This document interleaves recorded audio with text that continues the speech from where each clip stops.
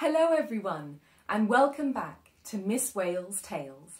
I'm your storyteller, Miss Whale, and today, with the help of some neighbours and my family, and of course, the illustration fairy, we're going to tell you a tale. Did you watch my video, It's Not Fair, a COVID-19 birthday? In that story, Rashmi says that she doesn't know why Hadlow Tower was built. Well, in this video, I'm going to share with you the story of Hadlow Tower. If you've seen Hadlow Tower in real life before, give this video a like.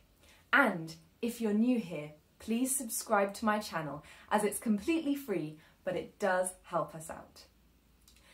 Now, the story begins in the 1700s, so I think I'd better get into a better outfit. Oh, there we are. That's better. So, let's begin. In the 1760s, a family of four were living in a place called Hadlow Court Lodge. Spoiler alert, this was to become the location of Hadlow Castle and Hadlow Tower, but not yet. They were John Barton and Jane May, and their two sons, Walter and another John. Loads of people in this story have the same names and it's really confusing. One day, Walter's uncle Richard said, If you take my surname when I die, I'll leave you a very large inheritance. Walter did not need very long to think about this and he agreed. He'd happily exchange his surname for vast riches. In 1763, Uncle Richard died and left his nephew his money, so that Walter Barton became Walter May. In 1786, Walter's father also died and left him Hadlow Court Lodge.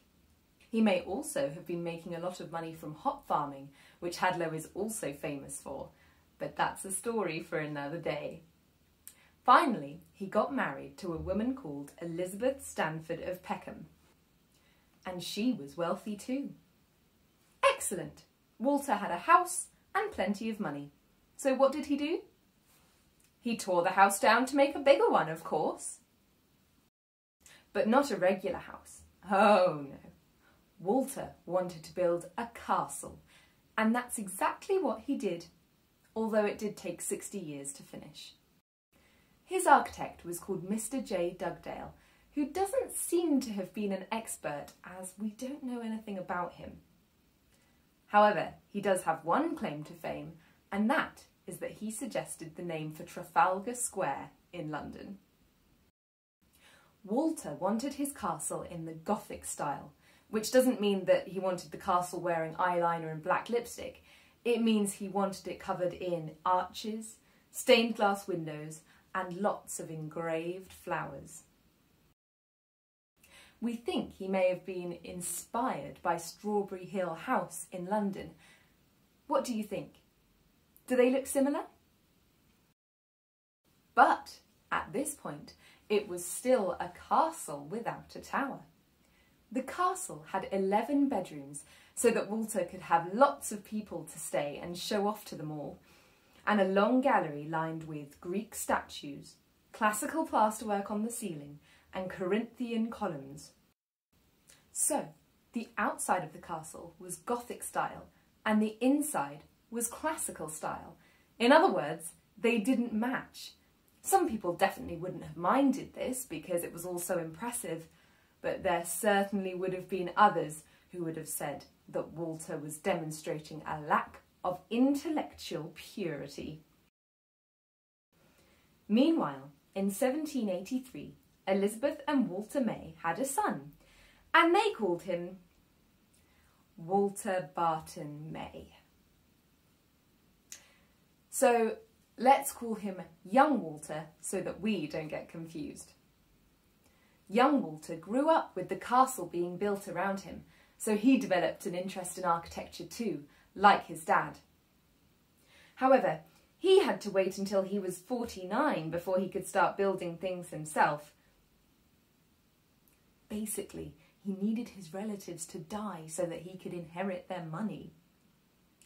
Also, like his dad, young Walter married a nice rich lady, Mary Susanna Porter.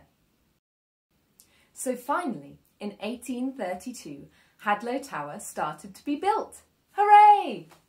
Young Walter chose a proper professional architect, George Ledwell Taylor.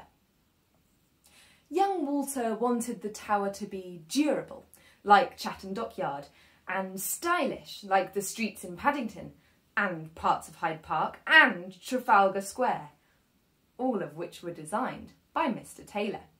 He wanted it to be the tallest folly in the UK, even taller than Nelson's Column, and he wanted it, he wanted it to be octagonal. Octagonal? Won't it be really difficult to find furniture to fit in the rooms? Octagonal! The big question is, why did Walter build the tower? Was it to show off how rich he was? Well, maybe, but he didn't actually choose a very expensive method of building. The tower looks like it's made of stone, but really it's brick, rendered or covered in Roman cement. That's the way to build something to look super fancy, but is actually really cheap. Was it a flamboyant status symbol? Young Walter did achieve this goal, and the tower is the tallest folly, that means a tower without any kind of purpose, in the UK, about five feet taller than Nelson's column. Or gossip.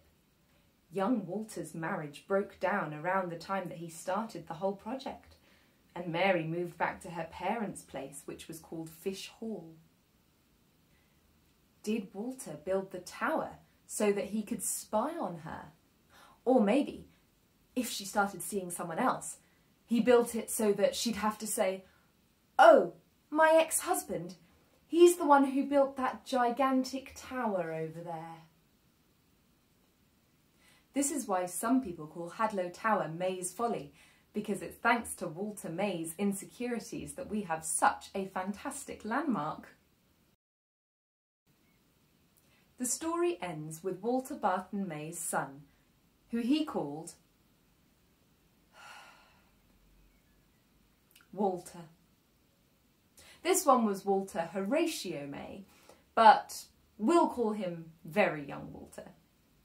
Very young Walter did not share his father and his grandfather's passion for architecture and put the whole estate up for sale. He lived in Brighton and then in Essex, but he couldn't escape Hadlow in the end and is buried in St Mary's churchyard. Lots of exciting things happened to the tower over the decades. It was used as a lookout post in World War II. And unfortunately, in 1951, people started demolishing the castle to use the building materials. Luckily, a local painter, Bernard Hailstone, stepped in to buy the tower, lodges, entrance arch and service courtyard, which are all the pieces we have left today. Phew! Hailstone was a local. He went to the Judd School in Tonbridge and there's a road named after him in Hadlow. So it's exciting that he was such a famous man. He painted Winston Churchill, Prince Charles, and the Queen. And he's been on a radio programme called Desert Island Discs, and in my opinion, that's how you know when someone is really famous. The Great Storm of 1987 could have been the end of Hadlow Tower, as it was very damaged.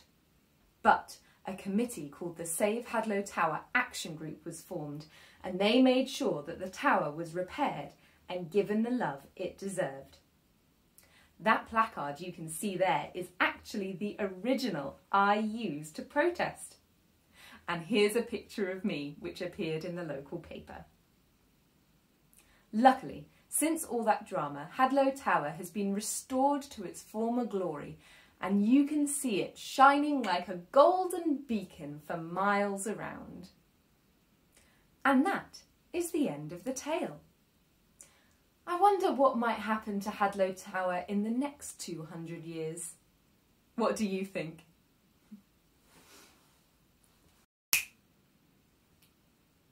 I hope you all enjoyed hearing the story of Hadlow Tower. Make sure you share this video with anyone who you think might not know the history of our wonderful tower.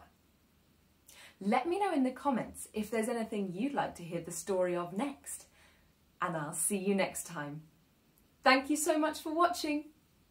Bye bye.